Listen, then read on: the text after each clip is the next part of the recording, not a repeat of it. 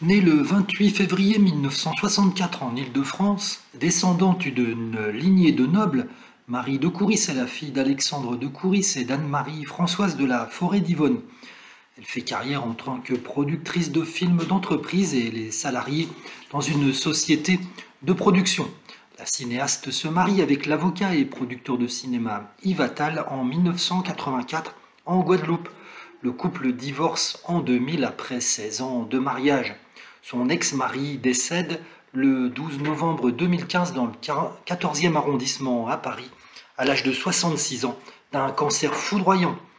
Avec Yves Attal, Marie de Couris a quatre enfants, trois filles, dont je sais qu'une se prénomme Iris, qu'elle est née en 92, et un fils, Gabriel Attal, né en 89 à Clamart.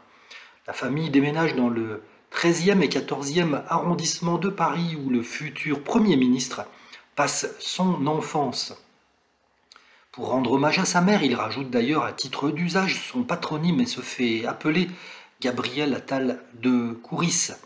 Cette dernière adopte par ailleurs un septième enfant, le petit Nikolai, qui est le fils de sa cousine Germaine, décédée dans un accident de voiture il y a sept ans.